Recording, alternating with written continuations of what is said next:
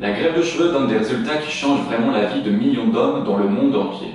Mais beaucoup de gens ne savent pas à quoi s'attendre après l'intervention. Bonjour, je suis Alexander de la clinique capillaire Air Palace. Dans la vidéo d'aujourd'hui, je vais vous exposer le déroulement mois par mois de la guérison après une grève de cheveux. De cette façon, vous saurez exactement à quoi faire attention et vous pourrez vous préparer en conséquence. Environ un mois après la grève de cheveux, vous pouvez subir une choc loss, une perte de cheveux. Cela peut être effrayant au début. Cependant, la chute ne signale que le début de la croissance de nouveaux cheveux et cela se produit parce que les nouveaux cheveux remplacent les anciens.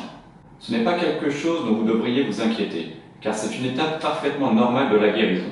Si vous avez une peau plus sensible, vous pourrez toujours voir une couleur rosée sur la zone receveuse, mais sinon, votre cuir chevelu sera rétabli. Les cheveux implantés tombent progressivement. Cependant, la repousse ne démarre pas immédiatement. Ainsi, deux mois après l'implantation, la zone receveuse sera clairsemée. Cependant, le reste de vos cheveux poussera normalement. Trois mois après l'intervention, la chute prend fin.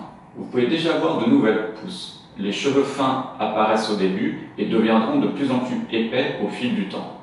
Mais vous devez vous rappeler qu'il s'agit d'un processus lent et que vos cheveux ne pousseront que d'environ 1 cm par mois. Au bout de 6 mois, vous remarquerez probablement une amélioration de la densité et de la couverture.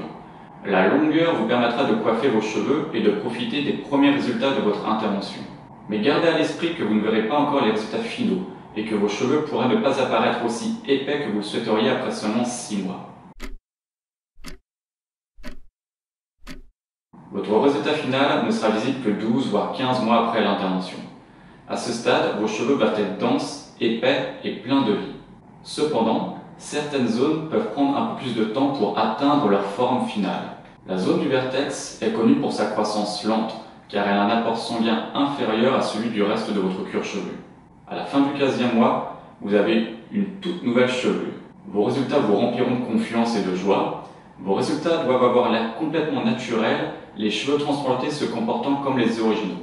Vous pouvez librement coiffer et couper vos cheveux comme vous le souhaitez sans aucun souci. La calvitie n'est plus qu'un vague souvenir à ce stade. Si vous êtes intéressé par la greffe de cheveux ou la perte de cheveux en général, visitez airpalace.fr pour plus d'informations. Comment s'est passé votre processus de guérison? Faites-le nous savoir dans les commentaires ci-dessous. Et si vous aimez cette vidéo, pensez à vous abonner à notre chaîne. Merci d'avoir regardé.